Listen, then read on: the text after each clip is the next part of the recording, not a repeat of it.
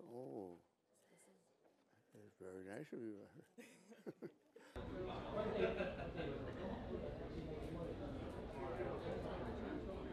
Rich Maldonado, San Joaquin Hospice volunteer.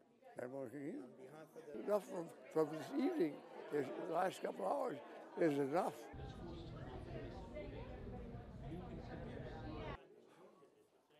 Major White. I'm John Silva. I'm the Assistant State Captain for the Patriot Guard Riders.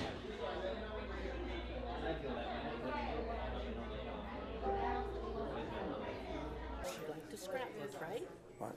And there's papers. okay, yes. Fire away.